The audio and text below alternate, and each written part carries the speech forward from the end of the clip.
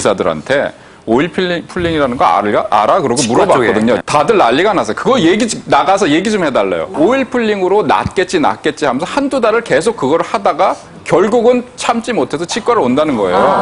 정말 3분만 양치해야지. 하셔서 양치질하고 치실을 열심히 하시면 oil pulling 20분 할 효과를 3분 만에 그렇지. 정말로 수백 배의 효과를 나타낼 수 그렇지, 있습니다. 그렇지. 네. 입안의 세균이 다 독소다.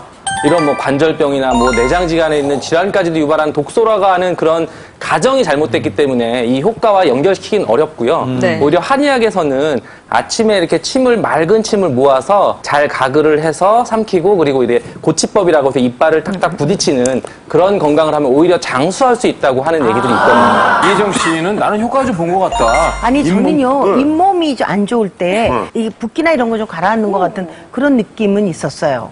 저는 뭐 완전히 플라시보 효과라고 생각을 하거든요. 이재용 선생님께서 뭐 붓기도 빠지고 하셨다고 하지만 실제 붓기가 전혀 빠져 보이지 않거든요. 미안합니다. 지방을 붓기라니요 선생님.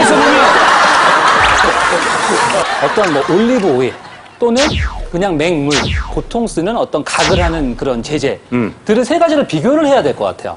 그래서 이게 의미 있게 오일 쪽에서 세균이 더 줄면 이거는 의미가 있는 거고 아니 세 가지가 다 비슷하다 라고 하면 제가 봤을 때는 굳이 오일로 할 필요가 할. 필요가 없을 것 같고요. 자, 저희가 오늘 오- 와